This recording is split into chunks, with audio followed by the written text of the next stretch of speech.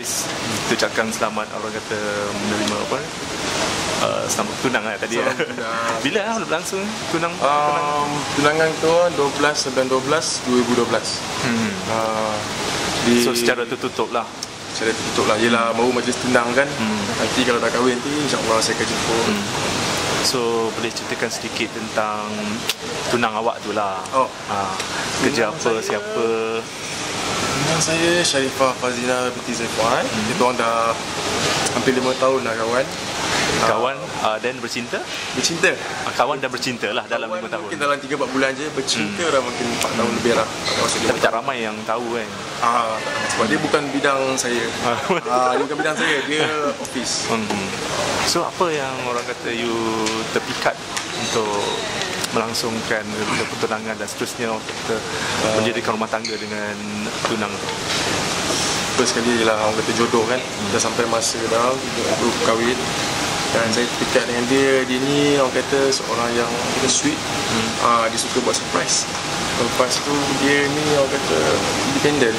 Ah, so saya terpikat dengan perangai dia lah. Hmm. So majlisnya akan dilangsungkan lambat lagi eh bulan 11. InsyaAllah bulan 11 ni. Tahun ni lah. Majlis pernikahan belah perempuan. Sebelah Bila perempuan. ceritakan bulan sedikit lah perancangan setakat ini. Uh, setakat ni se- sebelah perempuan dewan semua kita dah bayar. Uh, cuma hantaran-hantaran semua tu kita orang masih tengah dalam proses untuk beli lah sikit, sikit-sikit kan orang kata start tu sekarang lah kan jadi tak, tak, tak, tak terasa sangat ujung-ujung nanti kan so itulah cuma ada sikit je lagi insyaAllah Hmm. Harapan nanti? harapan Harapan lah.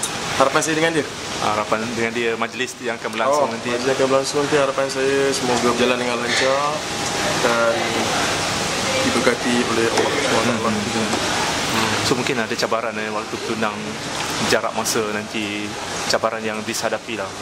Um, bagi Riz, ramai orang cakap dugaan, dugaan tunang, dugaan tunang semua kan. Tapi bagi Riz, sebenarnya benda tu kita yang create lah. Jadi kalau apa-apa berlaku pada kita, Riz rasa macam jangan kita anggap benda tu dugaan sangat. Just macam, okay, tak ada apa pun. So, normal je lah, tak payah nak fikir dugaan, dugaan, dugaan. Sebab benda tu yang akan buat kita jadi lagi banyak masalah, bergaduh semua kan. So, Riz tak nak. So ceritakan sedikit perkembangan.